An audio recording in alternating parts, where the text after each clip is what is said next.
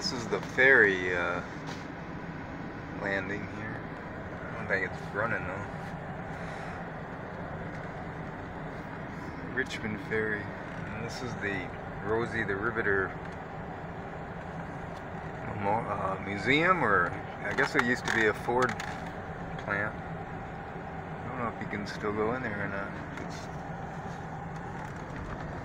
it said visitor center over here.